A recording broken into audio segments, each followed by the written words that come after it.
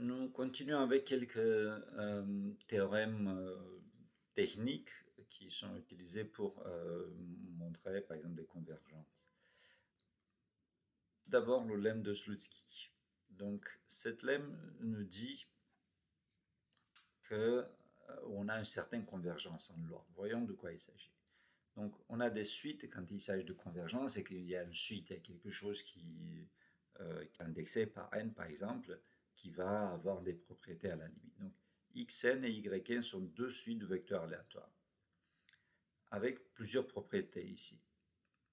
Tout d'abord, xn converge, c'est une information déjà préalable, qu'xn converge en loi vers x, où x est un vecteur aléatoire euh, donné. Ensuite, y converge pas en loi, mais en probabilité. vous vous souvenez, il y a plusieurs types de convergence variable aléatoire, nous n'allons pas en parler euh, trop euh, dans le détail, mais euh, cette deuxième convergence, c'est une probabilité vers C. C, c'est un vecteur constant. C'est important dans ce cas-là. Alors, le lemme de Slutsky nous dit le couple xn, yn va converger en loi vers xc. Attention, il s'agit de couple entier xn, yn ce qui est quelque chose de plus fort que juste euh, xn converge vers x, yn converge vers c. Par exemple, puisque le couple xn yn converge en loi vers xc, alors xn plus yn, qui est une fonction appliquée à ce couple-là, va converger en loi vers x plus c. Pareil, si on applique la fonction multiplication, f de x, y et x fois y, alors x et y va converger en loi vers cx. Et donc pour toute fonction continue d'ailleurs, c'est euh, enfin, continue là où les variables prennent valeur, on a f de x et y va converger en loi vers euh, f de xc. Et en pratique, c'est de cette manière qu'elle est utilisée. Delta méthode donne autre type d'information. C'est un autre euh, théorème. Ici, on se donne à nouveau une suite. UN, ça va être les, vecteurs aléatoires. Et puis, une suite AN qui sont des nombres. C'est une suite déterministe, si vous voulez. Et une certaine application. Quelles sont les propriétés de, ces objets? Premièrement, AN converge vers l'infini. Il existe un vecteur déterministe, c'est-à-dire constant, et V un vecteur aléatoire, tel qu'on est ça. AN, UN U convergent en loi vers V. Qu'est-ce que c'est que cette, euh, euh, cette écriture? Donc, puisque AN converge vers plus infini, AN va être par exemple N. C'est quelque chose qui, qui, grandit. Euh, et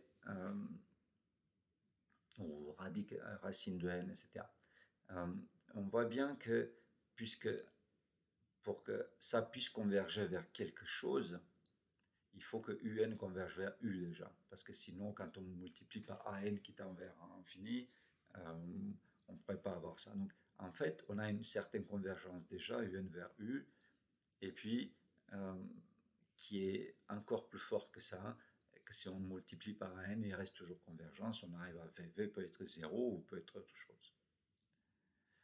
Et euh, on va supposer que L est une fonction différenciable. La différentielle, on va la noter dLu. Donc dLu, L, c'est une fonction différenciable qui prend U en argument.